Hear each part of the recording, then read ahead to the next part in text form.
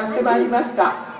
私たち女性たちが本当に勉強して平和の問題や原発の問題いろんなことで力をつけていこう。女性と政治スクールそれに取り組んでいます。今日は国会の本当に厳しい状況。そして私たちがずっと訴えてきた安全保障法の成立を止めようということでみんなでこの駅前でいろんな戦い運動訴えをしてまいりましたが今日国会での話を聞く中で本当に大変な事態だということをまた痛切に感じております。今日は福島みずほさんの応援団で長野県の中のいろいろな自治体の女性議員たちがやって一緒にここに集まっています。みんなで一言ずつ思いを申し述べていきたいというふうに思います。私は松本市の市議会議員田口照子と申します。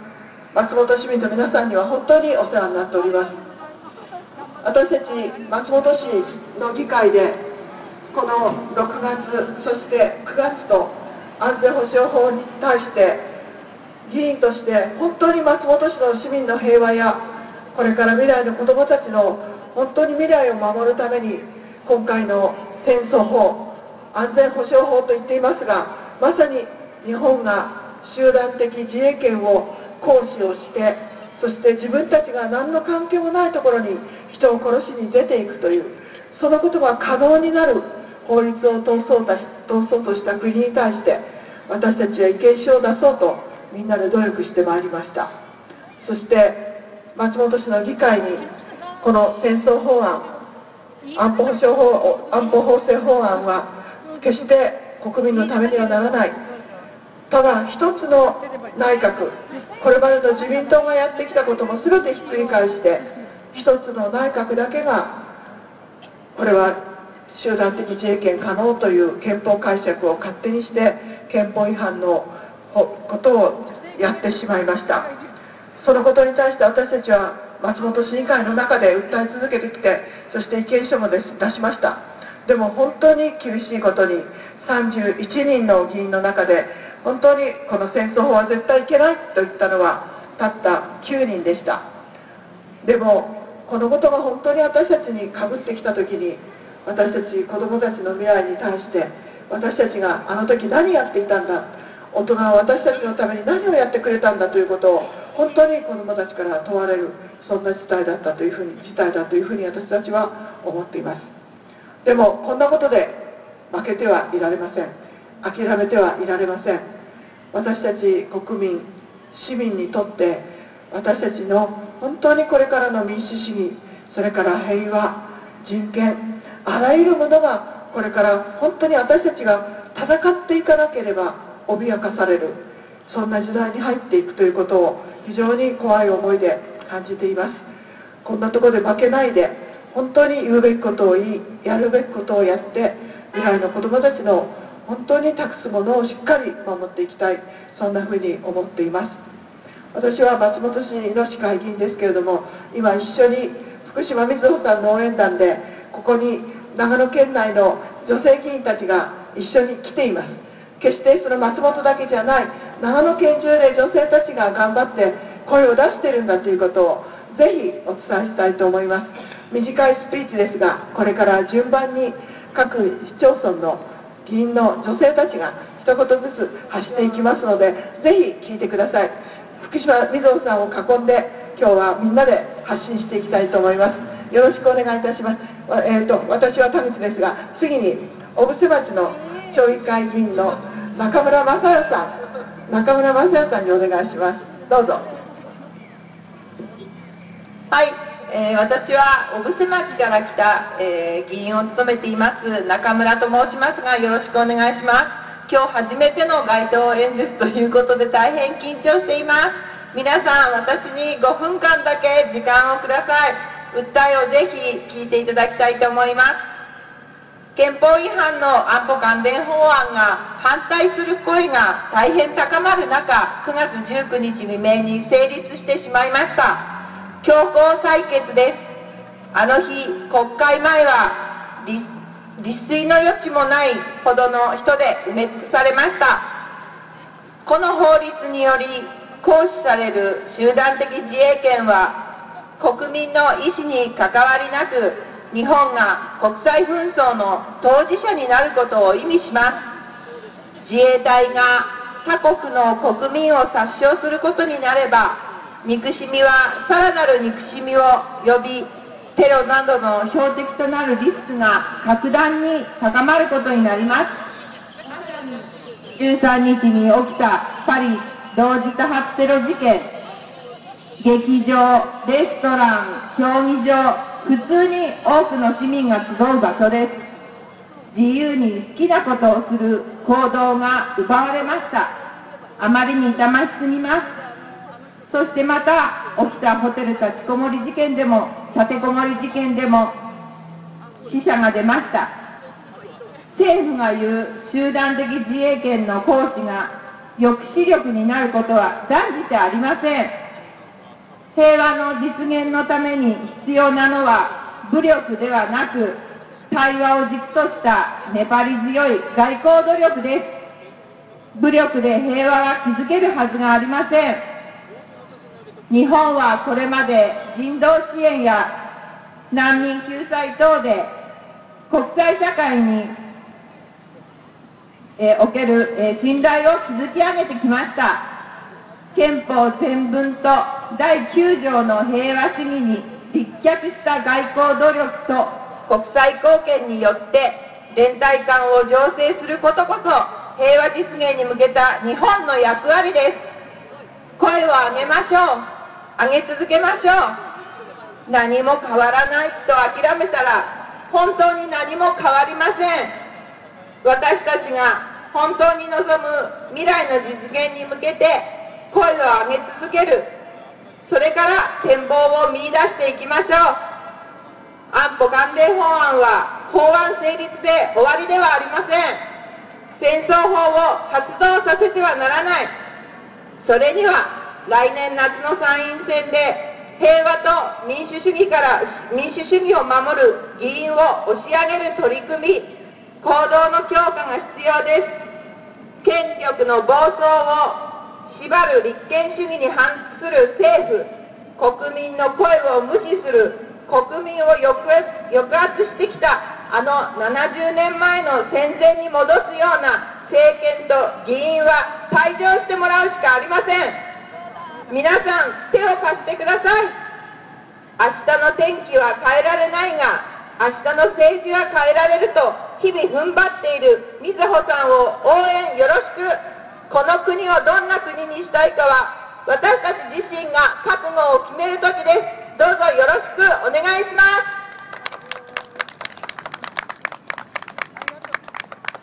ありがとう。ございました。次は飯田市議会議員の木下陽子さんです。よろしくお願いします。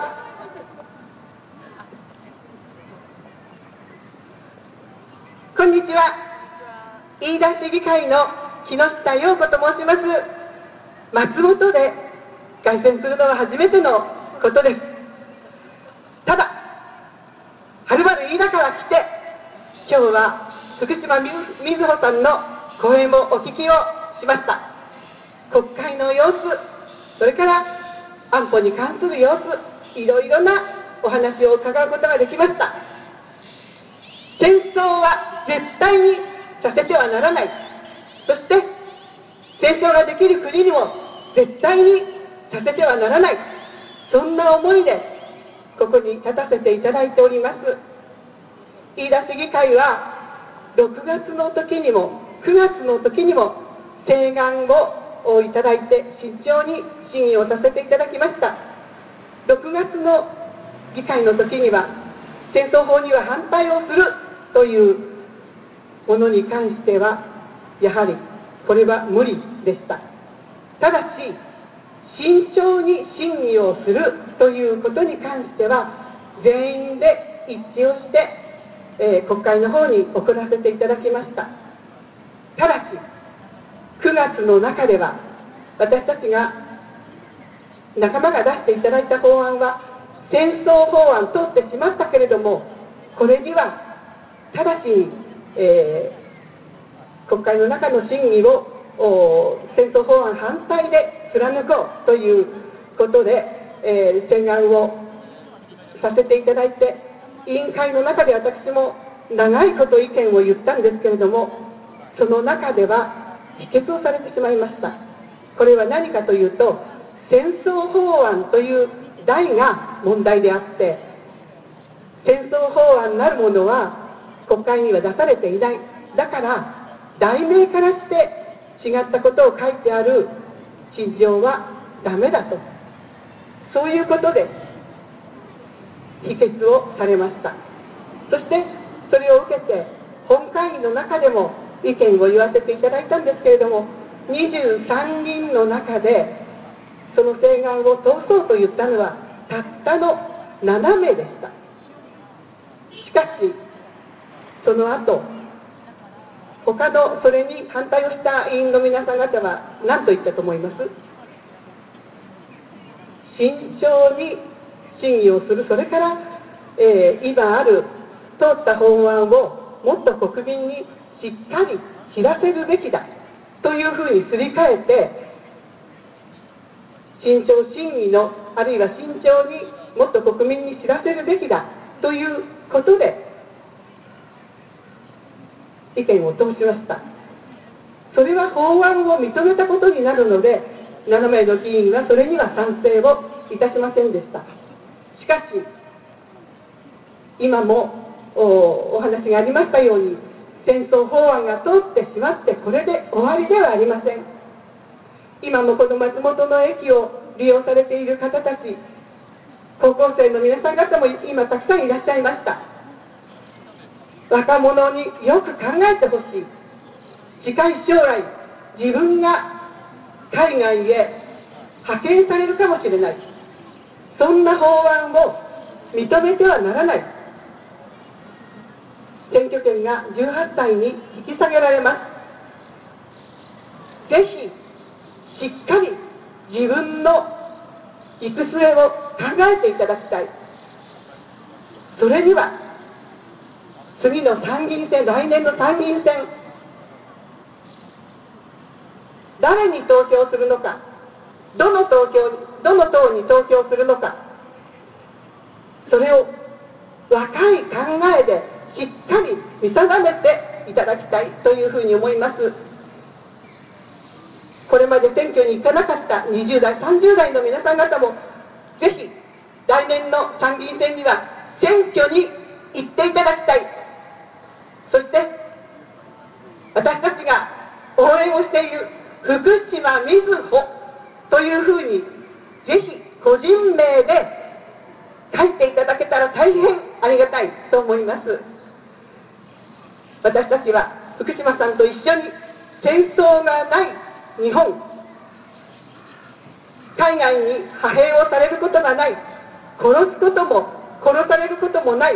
そんな社会を作り上げていただきいきたいというふうに思います。共に頑張りましょう。戦いましょう。それではお待たせしました。福島みずほ福島みずほがこれから松本の皆さんにお訴えをさせていただきます。よろしくお願いいたします。えー、上の皆さんこんにちは、えー、紹介していただきました社民党参議院議員福島みずほです。今日は自称いい女じゃあ長野県内の、えー、自治体議員の女性の皆さんたちとリレートークをしています。どうもこんにちは。松本氏はもう何回も何回もおそらく2桁台ているのではないでしょうか。松本城があり、えそして明日はこの松本市在住の、え小出博明さんをお呼びして東京で脱原発を目指す女たちの会で脱原発の集会を持ちます。今日この松本市で講演会をさせていただきました。今日は過労死に取り組んでいる人そして松本子ども留学基金その活動をしている話を聞くことができました。非常に有名ですよね。この松本市がみんなのカンパで福島の子どもたちを留学、まあ、寮に住んで子どもたちを本当に応援するそのことを松本市長もお医者さんですが松本市で市民の皆さんたちが大きく行動されていること心から尊敬をしています。そんな松本市で美味しいお蕎麦を昼間食べてそして今日講演会をやりました。皆さん国会で戦争法が9月17日強行を特別委員会でされました。強行だけれども採決はされてない。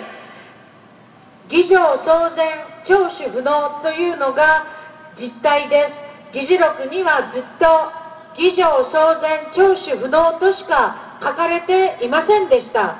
私福島みずほその場でその委員会におりました。議場騒然聴取不能以上でも以下でもありません。そして私は思いました。70年経って初めて日本の政府が日本の若者に対して他国で人を殺せと命ずることができるそんな法律がこんな声も聞こえない。委員長が何言ってるかさっぱりわからない。誰が賛成したかもわからない。こんな状況で国会で強行されたことに本当に怒りを感じています。地方公聴会の委員会への報告もありません。中央公聴会地方公聴会をやった後審議を求めているのにぶっちぎってやったケースは憲政史上初めてです。こんな大事な法律を法案をこんな強行でやるなんて本当に許せないと思っています。また中身も大問題。憲法があるのになぜ他国の領域で武力行使ができる。そんな違憲の法律を提案し強行できるんでしょうか。また皆さん戦場の隣で。こんにちは。こんにちは。戦場の隣で弾薬を提供する。そんなこともなんでできるんでしょうか。戦争法案は戦争の下請け法案。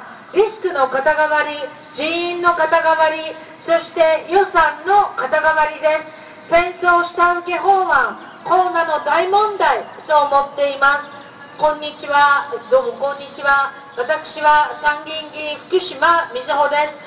国会で強行された戦争法案成立に可視がある中身が違憲無効であるそう思います。皆さんこれは憲法に対するクーデターです。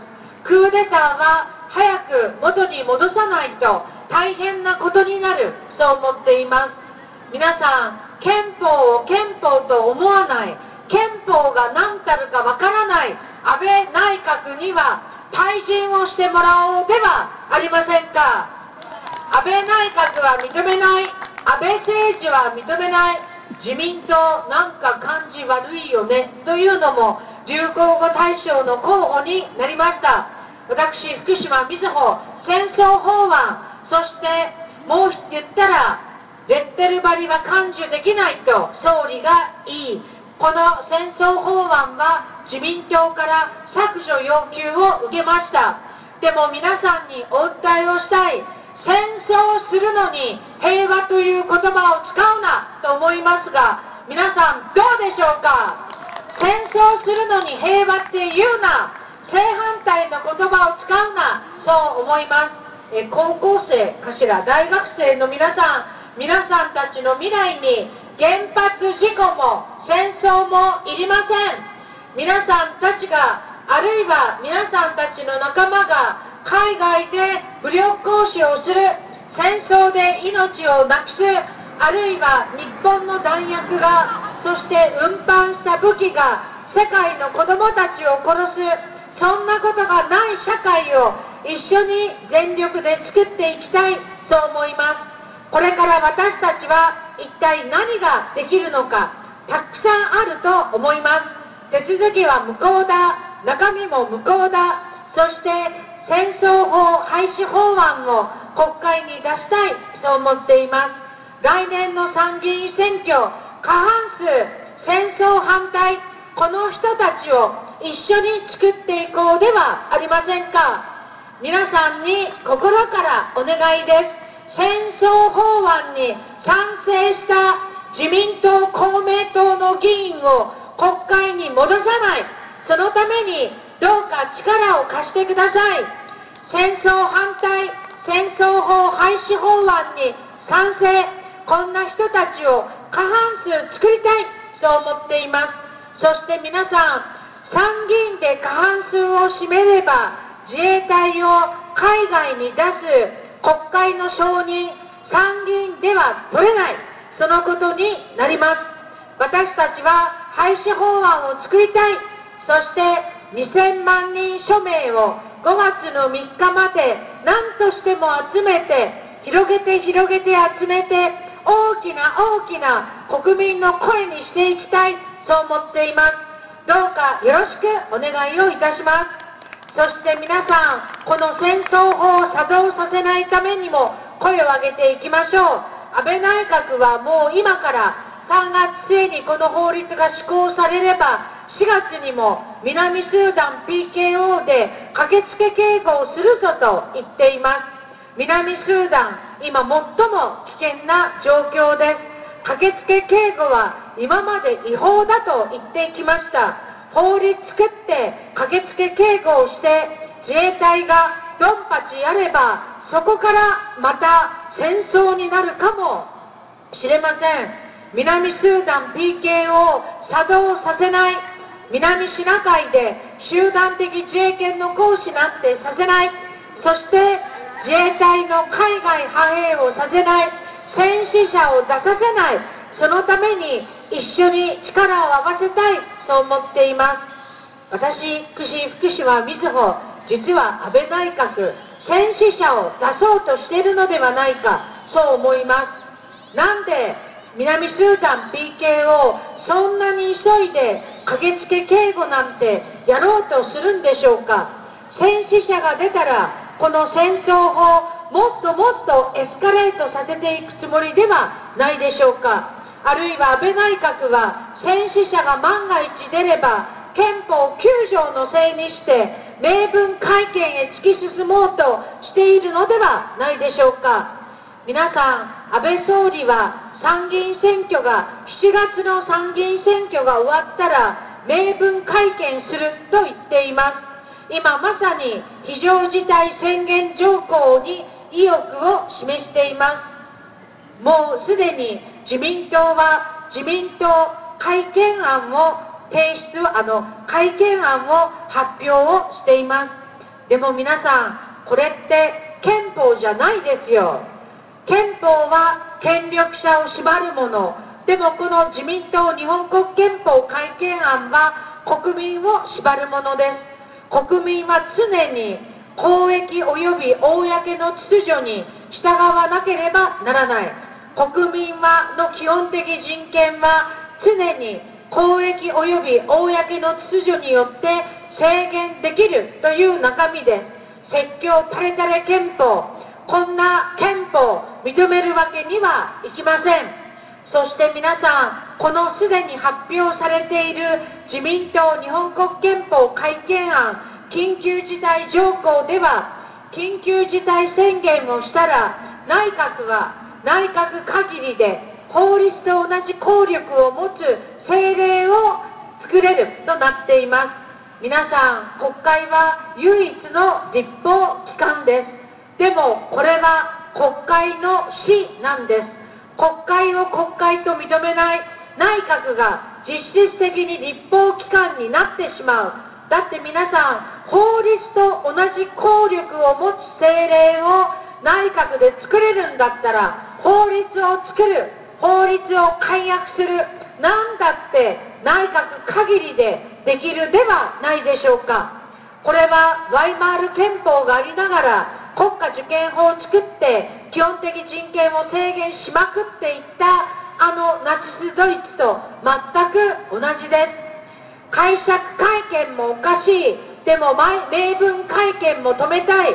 私たちは戦争法反対。戦争法を廃止したい。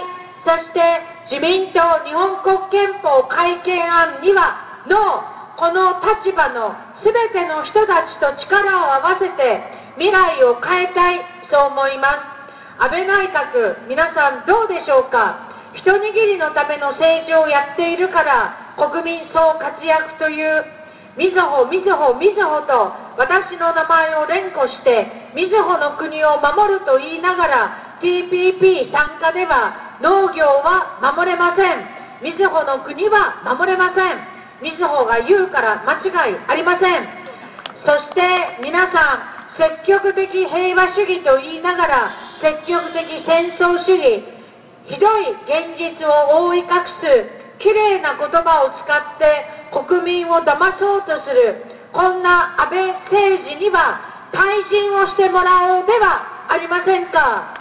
私たちは私たちは政治に何を期待するかこの生きづらい社会をこの生きにくい社会を雇用が劣化している社会を非正規雇用が4割を突破した社会を20代の若者の死因のトップが自殺だというこの社会を皆さんたちと一緒に変えたいそう思っています。沖縄がどんなに辺野古の新基地建設反対と言っても民意を聞かない DV 夫のように襲いかかっていく地方自治を踏みにじるこんな民主主義を踏みにじることには大反対なんです。どうか皆さん安倍総理はこの道しかないそう言います。でも民主主義この力で安倍総理が作ろうと思っているのとは違う未来を一緒に作っていこうではありませんか。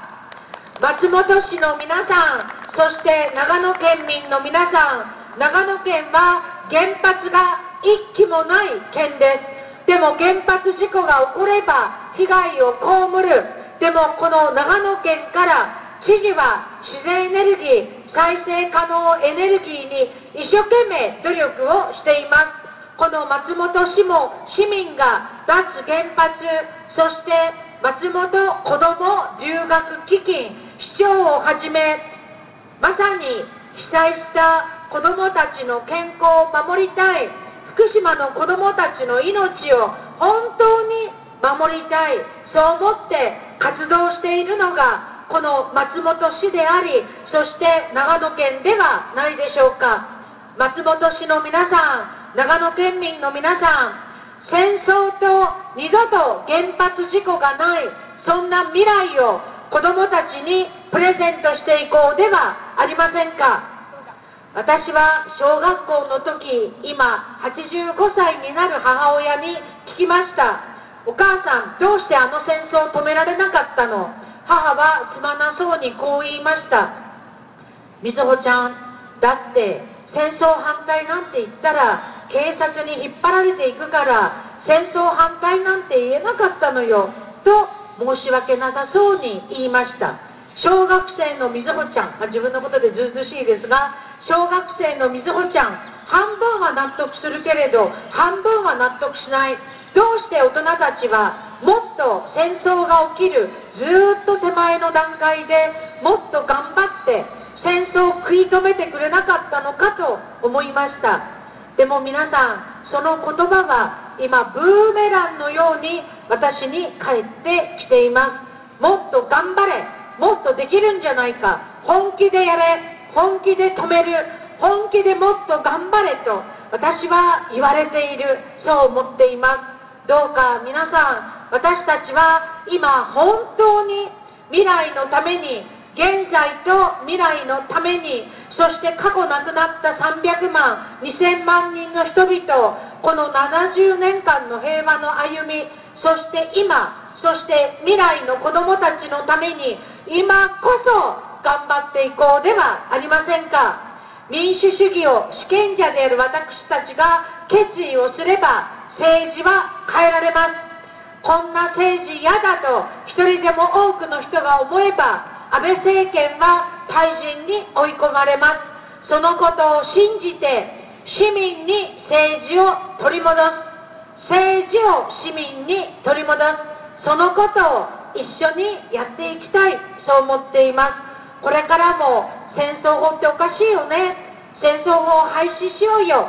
そんなことを毎日毎日皆さんたちとやっていきたい。そう思います。一握りのための新自由主義ではなくみんなのための社会民主主義。もっと生きづらくない社会を本当に作ろうよ。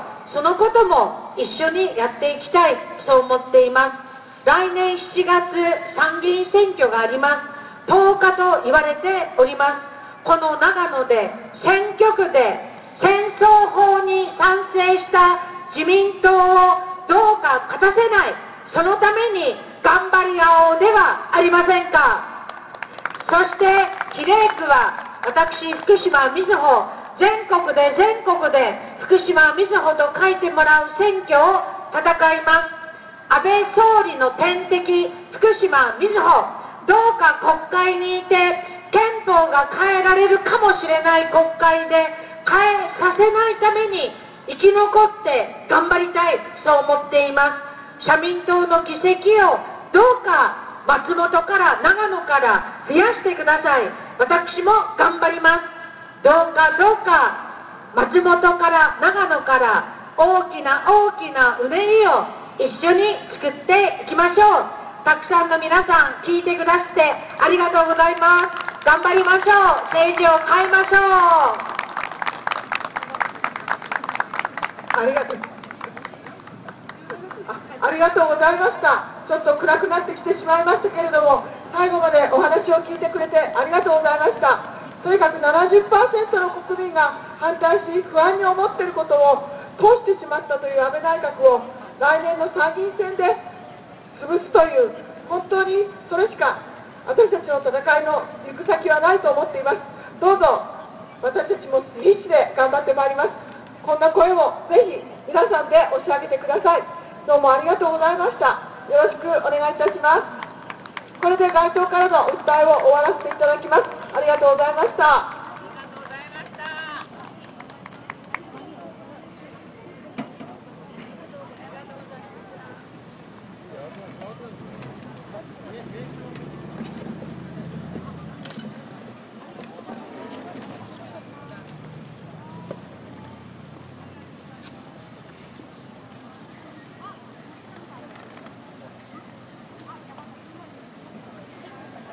করবো